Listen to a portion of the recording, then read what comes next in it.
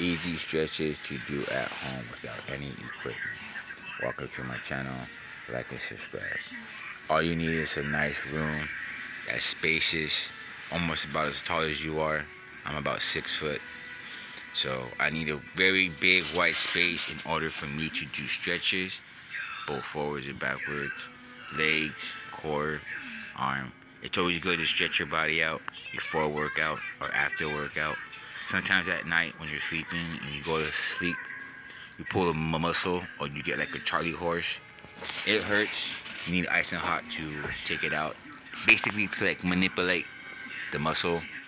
I wish I could do the stretches, American style and the Chinese style. I have a hard time stretching my thighs. I can't do the splits fully. I can only go down about my knee height as you can see. No, I'm not doing the splits here. But this type of stretching helps open up that muscle and stretch that muscle on your inner thigh. So if you're like me in a way, like to work out and stretch and be successful with what you do, like completing a set of workouts of 100 push-ups, completing a set of stretches, going for a run, that makes me feel good. It inspires me more to be better, to improve more. That is you. You have goals. You're awesome. Do great. Conquer them and complete them. Thank you.